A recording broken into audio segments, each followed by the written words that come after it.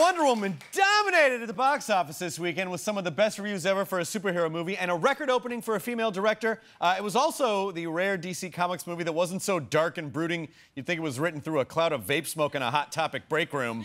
but, but of course, not everyone was thrilled about it.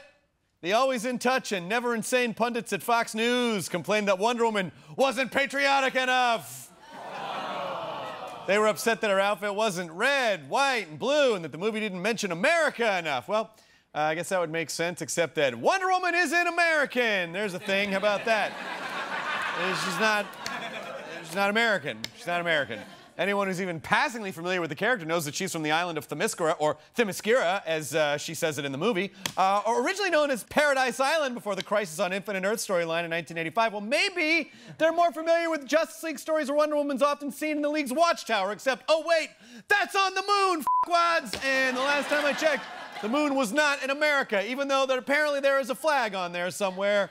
Uh, so who knows? Who knows? Uh, maybe you guys are right. Maybe I'm right. But I feel like maybe I know a little more about continuity than Fox News, bitch. That's why it's not called. That's why it's not Fox Comics. And also,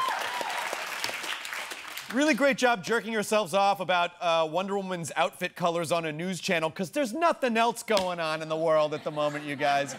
So, comedians, what's another complaint Fox News has about a big summer movie? Jon Daly. Uh, well, Sean Hannity was saying that Captain Underpants wasn't sexy enough. All right.